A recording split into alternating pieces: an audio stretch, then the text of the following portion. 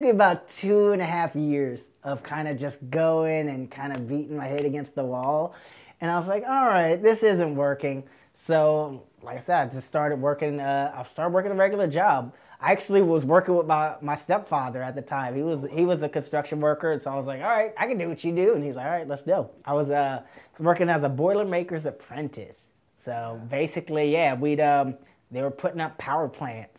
So literally, you know, like cleaning welds and hauling around tools, and I mean, it was it was good work. It's heavy work, but like I said, it, it kind of put some hair on my chest, man. It was like it was like one of those things where like for the first like two three months, they were trying to run me off. I could tell that they were like, ah, this little kid. Well, just, you know, they had the worst jobs for me. They say, oh, board meeting, kid. And I'd be like, what's a board meeting? Go pick up their boards and go take them. the boards would be as big as me. But then I think it was like maybe two or three months in, they were like, you know what? This guy actually works really hard. I think they had given me those first two months, I was like inside the inventory shed. And all there was was just heavy, heavy tools. I mean, we had um, we had big old chains and hooks that were like 85 pounds. And during that first two months, I cleaned it to where it looked like it looked like of showroom, man. It was so like I was proud of it to the point where I was telling people like, don't go in that, don't go in that room and mess it up. Don't grown men, don't you do it. so they got some respect for me. They eventually were like, all right, like, come on, we, we're to take, take you up there and, you know, start showing you the actual work, showing you how to weld and showing you how to do all the rigging and everything. And um, so for the last seven months, that's all I did was just like walking around on beams and putting together metal structures and, um, and showing people that, hey, I'm, I may be an actor and I may got, you know, I may got soft hands, but god dang it, I'm gonna, I'm gonna use them to lift shit. I'm not scared, you know? After that, it was, um, after that, it was uh, working at a barbecue place. I was a line cook. Um, and people ask me, You went from welding to cooking? I said, Yeah, at this point, I'm not bothered by being burned at work. So it was just another like hot and heavy gig.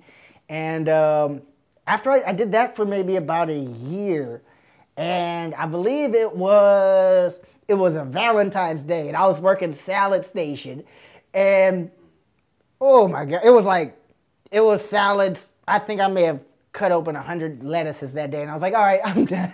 all right, guys, I put in my time, boss. I'm out. You know, so after that, I went directly over to retail, AT&T.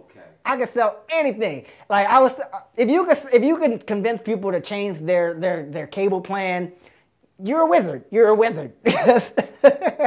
Because people really like knowing, like, oh, TBS is on channel 59. Like, they love the familiarity of it.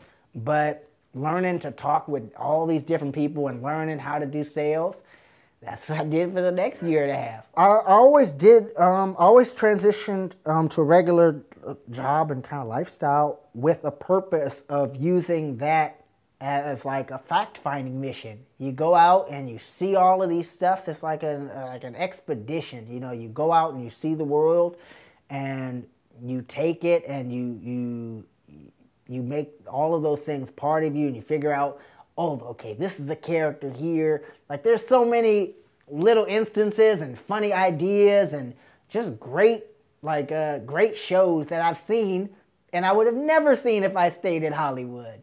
And so I feel really incredibly lucky to have taken that chance, and luckily I, I had the ability to.